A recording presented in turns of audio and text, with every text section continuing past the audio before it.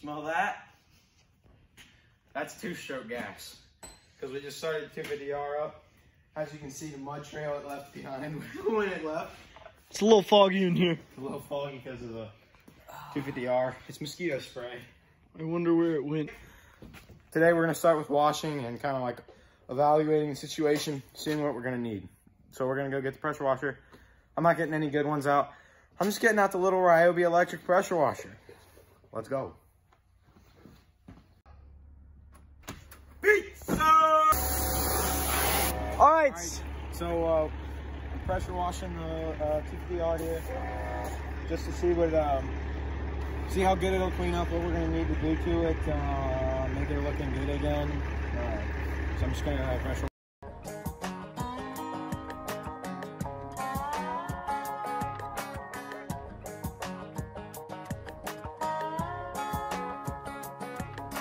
I saw this old ride listed for sale, 10 years old, and it looked. That's sexy. Well, duh.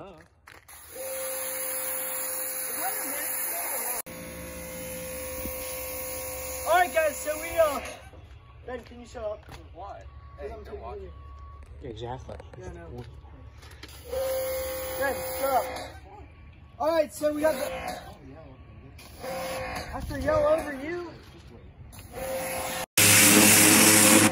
I pressure wash my old plastics in the snow. Wow.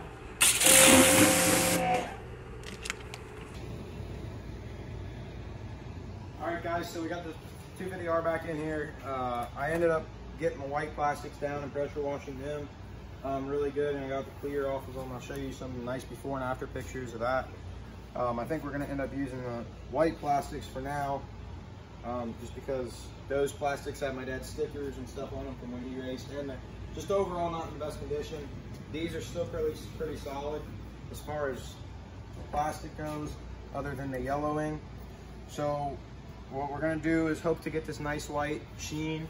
Um, we're just gonna try out some different products um, and see what works good on these. So um, let's get to it. I'm I, we're gonna evaluate the situation, see what we're gonna need to get. We'll probably end up wet sanding these completely down, painting them, but for now, I wanna try to preserve what we got, but I don't see it happening. Whatever. Anyway, we'll tell you what we need to get. I'm gonna start trying products.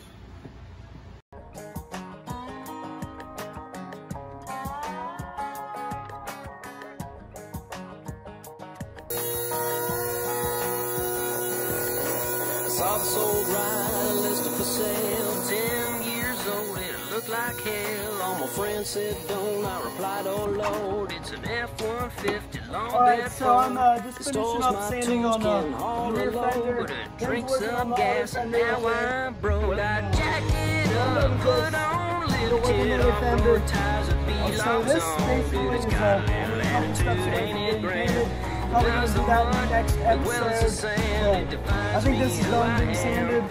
It's not perfect, but it is very smooth, smooth enough, you ever think but also said rough good enough that people love. can too. American So- made, and it's my truck. Stay tuned.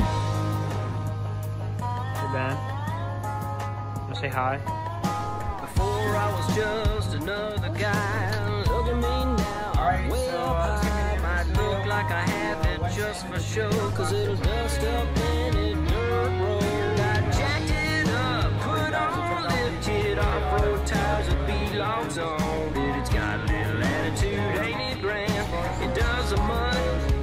the sand. It defines me who I am. It's more than practical, it's a statement. If you ever think I said it, good luck.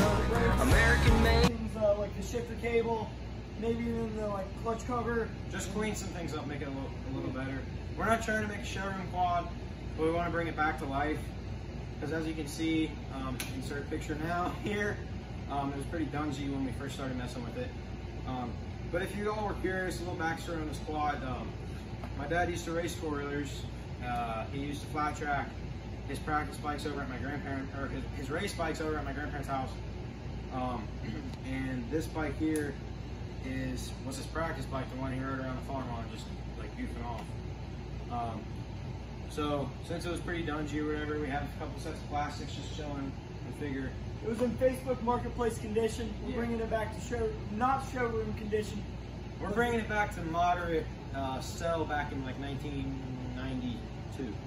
But this this is going to be one that you wouldn't feel bad about taking on the trail and scratching it up, but, Right. it would be nice enough to be nice. And um, again, we're kind of running on a budget. Just like I, we're, we don't want to go dumping a ton, ton of money in this. We're kind of working with the resources we have. And um, for example, if we really wanted to go crazy, we could go buy brand new seat, brand new plastics. But instead, we're just going to paint the ones we have because we're not going to go drop 600 bucks. Um, but We're probably still going to have to do general maintenance things and wear items like the front tires, they're gone. front it needs front tires. I mean, we'll just go through and make sure the quad's what it needs to be. Um, and uh, I mean, there's a, there's uh, mechanically the quad is is very solid. I mean, there's a few things um, that that need uh, some some A some little bit of love. Some love. Um, for, for example, the kill switch doesn't work. Um, that's kind of important to have.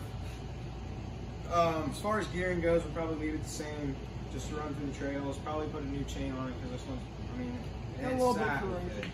Yeah. But when this is done, it should be pretty cool. And I'm excited to have our first complete project roll out of Black Smoke Garage. So stay tuned for future videos on the 250R. Um, Other four wheelers. I think I think this is going to turn out pretty sweet. This will be one of the fun one of the, it'll be a good way to kick off. Uh, are however interested in this project, go uh, go to our channel, go to playlists. Um, Get to the there, there's a whole playlist on the Dirty Den Side series, um, and there will also be a playlist for the 250R. So if you're interested in um, specific projects, just look for playlists.